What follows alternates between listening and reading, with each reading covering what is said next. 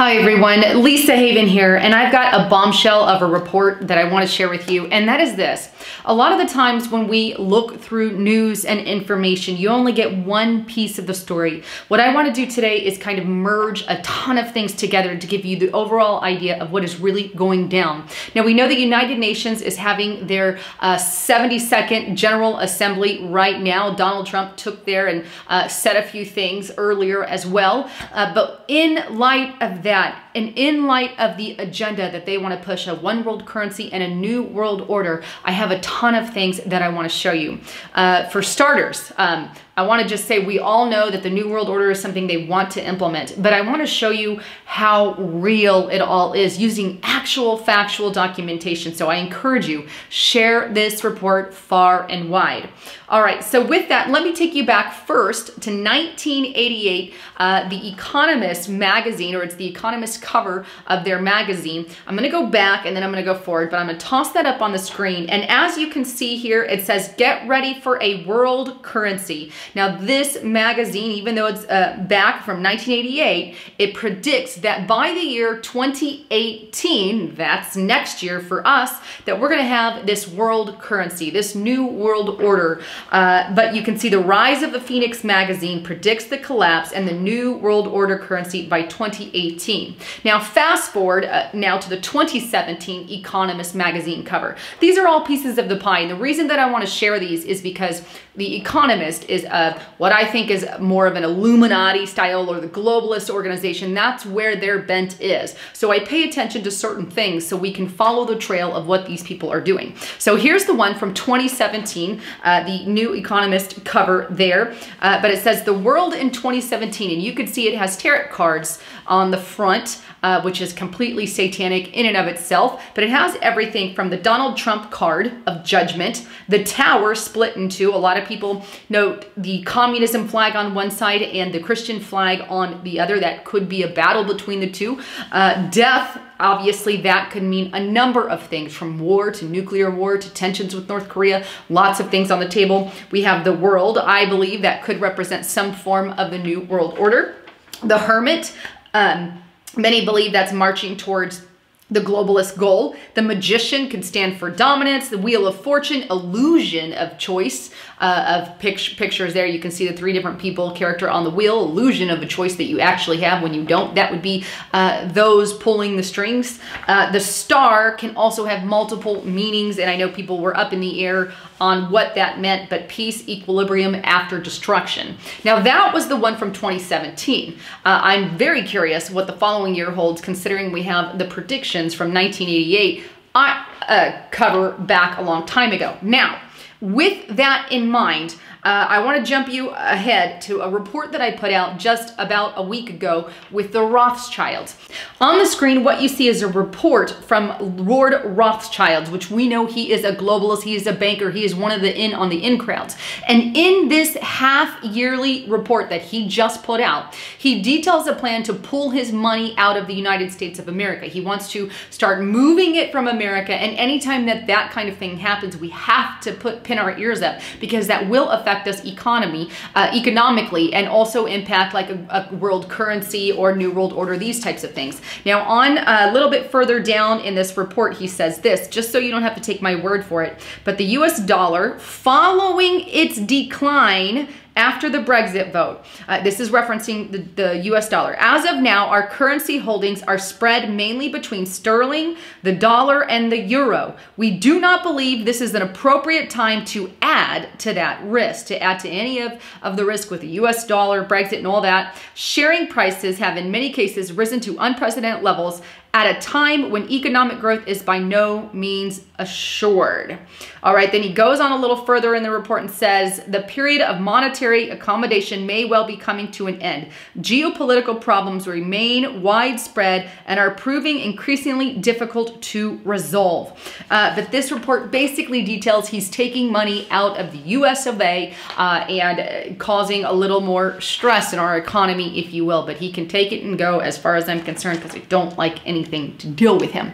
Now, knowing those three things, let's move on a little further. Now, here's a report by mainstream media site, uh, CNBC.com, and this was put out May 2017, and it's titled $25 Oil is Coming and a New World Order along with it, the think tank says. So this report goes on to detail that the world as we know it will no longer be. The balance of power on a global scale will shift, all within the next decade. Now, this report further details how driverless cars and electrical cars will cause the oil prices to skyrocket because uh, people are switching to electrical things, and then the money that the oil people were making is not as big. I'm summarizing the article in a, in a nutshell. And so, therefore, as a result, it can lead lead to a shift to a new world order, something they've wanted all along. They call it an international order, a human order. Uh, a lot of the times they don't even use the word new world order, but as you can see from the Economist magazine back from 1988, as you can see uh, from the 2017 when, as you can see the Rothschild pulling out his bank, uh, money that right now they're pushing hardcore the new world order and wanting that global governance. But Donald Trump is really in their way. They're not liking him, and I have that report on that too. Uh, moving down a little bit, we know that right now, again, and I stated at the beginning, the United Nations is having their second 72nd General Assembly meeting. In this meeting, I'm going to throw up the agenda on the screen. Number 16 specifically states that they are going to discuss at this meeting the role of the UN in promoting a new global human order new global human order. That was one of the bombshells, and they've not yet gotten to that topic. I will report more on that when they start actually discussing that topic. I know Donald Trump had a lot to say in his opening speech, uh, and uh, if you guys got a chance to watch that, great. He had a lot to, to, say about North Korea, but one of the things that he said is he's sick and tired of all, uh, you know, everybody not being equal and fair as far as America paying a little more. And uh, I agree with him 100%. We don't need to foot the bill, but footing the bill um, the US footing the bill is exactly what the United Nations wants. All right, moving on to another article. This is on chronicle.co and it's titled, Can BRICS Bring About a New World Order? Now, this report goes on to detail how they want to close the gap between the rich and the poor. When I say that the UN wants to close that gap, well, that's exactly what they're talking about. In other words, let's make us all poor because that's what it's about. And so they ponder the idea of stealing from the rich Americans and giving to the poorer countries, something that Barack Obama promised and, and tried to do avidly, and something, by the way, that Donald Trump is doing the opposite of. Obama did one thing, he, he tried to take money from America, make us poorer. That's the truth. It's an ugly truth, but it's a truth. And giving it to other countries. Look, we made ourselves where we are. I want to keep that money here. I don't want everybody to be socialism when we all share screw socialism. It means nothing. It has nothing to do with anything, and it's nothing but a, a jumping point to communism. But that's what the UN wants. They want communism and they want control because with communism, with socialism comes ultimate control of the governing body. And I say, take it on your own. And uh, yeah, I have a lot more to say to that, but that's it. This is what the New World Order will bring, a communist style, regime style, taking from the rich, moving uh, to a poor uh, but not even a good thing. It's going to make us all poor. That's the ultimate agenda of the New World Order, as you can see just in news reports. Here's another report I wanted to show you, and this one's on the DetroitNews.com. Where's the New World Order? And this is put out September 10th. 2017, they're asking, are they coming? When are they going to be here? What's it going to look like? These kinds of questions. Uh, this is from the Detroit News. Here's another. Uh, this is from the HuffPost.com, another mainstream sicko media site. September 14th, 2017, put out just the other day. And it's titled, An Escalation Proof U.S. Foreign Policy is a Magna Carta for a New World Order question mark. So what are they proposing there, Mr. HuffPost? We know that Huffington Post, we know New York Times, we know CM, Embassy, ABC, CNN, all of them. They want a new world order. They hate Donald Trump because he's a nationalist and because he's a patriot. Here's just more documentation to prove that we are on that path. Uh, but with that one last thing, I said that that um, I honestly believe that they that that Trump is not for the New World Order. Here's the Bloomberg report.com from Bloomberg.com that kind of proves that point, and they say the New World Order is leaving the United States behind. Hell yeah, get the hell out of the US UN, that's what I say. Uh, I drove past a sign the other day that had that. It was awesome. I was so happy.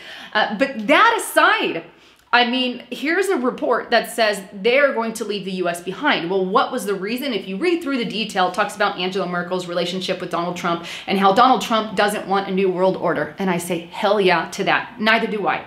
Ergo, the reason that I wanted to do this tape to show you where we were in 1988 with the top economist cover uh, or the new economist uh, magazine, The Economist magazine cover to where we are today, showing their prediction for a one world currency and a new world order and where it sits now, and how the Rothschilds banker is pulling out his money, attempting to get us to that goal, how we have all these United Nation events and all these other events trying to push at that, at that new world order goal, and we also have people standing against it like hopefully Donald Trump continues to do. Anyhow, please share this far and wide. Get it out to everyone. And also, please don't forget to check out my partner at noblegold.com. Look, if you're not invested with gold and silver, especially when they're planning things like a one world order and one world currency, you're going to be left behind get precious metals, get gold, get silver. Call noblegoldinvestments.com. There's a number on the screen you guys can call. Let them know you heard it on Lisa Haven, and there's also links below. But make sure you are ready with that. I love you guys, and my heart is that you're as prepared